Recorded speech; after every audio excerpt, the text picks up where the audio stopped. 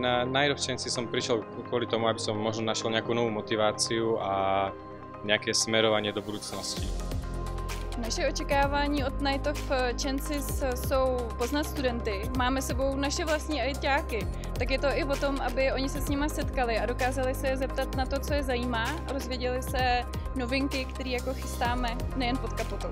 Samozřejmě je to o autech, ale bez IT a bez studentů technologických oborů by to auto prostě nevzniklo. Je to od začátku toho vývoje až, až prostě do konce pro, pro toho koncového uživatele s tím propojený a pro nás je to unikátní šance tohle jednak sdělit studentům a jednak se s nimi mají osobně poznat, aby věděli, že to nejsou žádný anonymní tváře.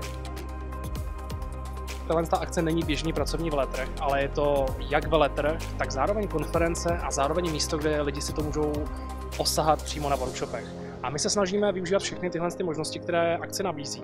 A snažíme se jít studentům blíže a právě ukázat, kdo jsme, co děláme a co u nás vlastně, jakou kariéru u nás mohou vybudovat protože jsme velká poradenská technologická firma, tak my potřebujeme lidi, kteří nechtějí dělat jenom běžnou práci, ale kteří opravdu chtějí dělat něco navíc, chtějí dělat, chtějí dělat špičkovou práci a kteří se nebojí si do toho pořádně opřít.